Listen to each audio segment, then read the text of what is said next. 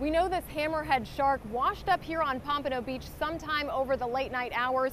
Early morning beachgoers experiencing a mix of emotions from wonderment to heartbreak. Wow, there's a shark on the beach. I've never seen that before. A shock to Pompano beachgoers this morning. A large hammerhead shark washed up on the sand. Beach residents telling us earlier this morning the shark was even closer to the shoreline. They brought in a uh, bobcat and moved it out of the water because they didn't want it to go back into the water. This 11 foot female hammerhead shark washed up here on Pompano Beach. You can see her here now. There are scientists from the American Shark Conservancy on site right now. They plan to collect samples from her and study her before moving her up the beach. It might be, it potentially has to do with post release mortality, which means that this species in particular gets a little stressed out when it's caught.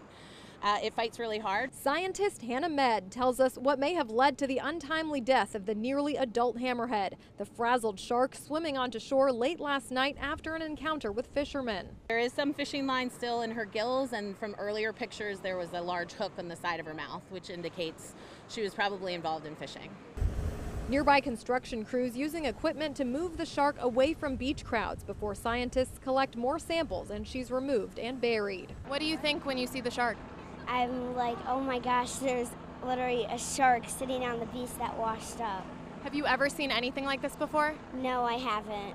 Some staring in excitement at the rare sight, others realizing the heartbreaking reality of what happened here. You never want to see an animal this big laying on the beach. This thing's 11 foot long and over 500 pounds.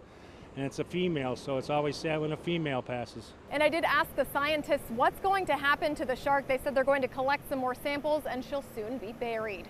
That is the very latest from Pompano Beach. Saira Anwer, Local 10 News.